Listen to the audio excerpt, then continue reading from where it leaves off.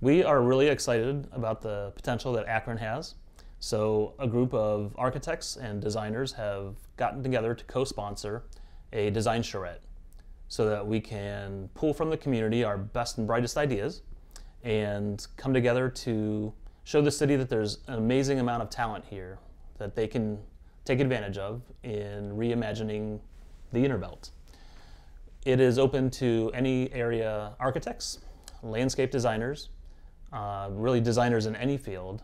students from any design discipline at Kent or Akron, and um, area artists in the visual and performing arts. So we invite you to join us at the Kent State um, new building of architecture on June 3rd from 10 to 3.